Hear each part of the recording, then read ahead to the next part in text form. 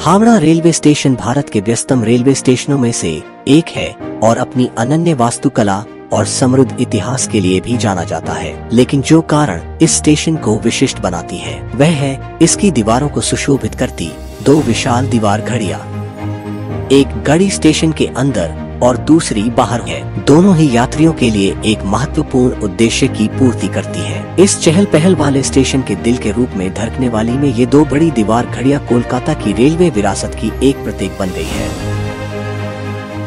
You will be glad to know that both these clocks were installed in 1926, that is 97 years ago, by late Sri Devo Prasad Rai of Messrs. Rai Brothers Company of Kolkata. It was manufactured by Gents Company, a British company which shipped this watch to India. At that time, it was the largest mechanical clock in South Asia and served as a symbol of modernity and progress.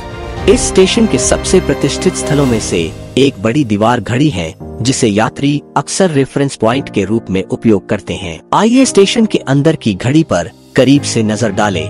यह एक सफ़ेद background पर bold काले नंबरों के साथ एक विशाल double face वाली गोलाकार घड़ी है। घड़ी के डायल का आकार चार फीट है। घड़ी को रणनीतिक रूप से स्टेशन के बीच में रखा गया है, जिससे यात्री स्टेशन के किसी भी हिस्से से समय की जाँच कर सकते हैं। चलिए अब बाहर चलते हैं और दूसरी घड़ी देखते हैं। यह घड़ी भी उतनी ही प्रभावशाली है। यह छह फीट की डायल वाली एक विशाल गोलाकार घड़ी है। यह दोनों ही घड़ी एक हुगली रिवर फेस पर और दूसरी हावड़ा बस स्टैंड फेस पर बोल्ड नंबरों और बड़ी सुई वाली विशाल काय घड़ी दूर से दिखाई देती है। इस घड़ी का यंत्र इंजीनियरिंग की एक प्रभावशाली उपलब्धि है।